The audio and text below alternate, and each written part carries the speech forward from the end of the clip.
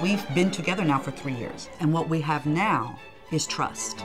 If I decided I want to go off a cliff, the entire group follows me.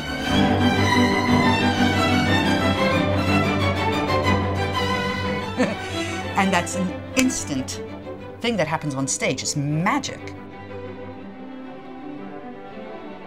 You just kind of forget that it's just strings because it becomes very, very vibrant and very large.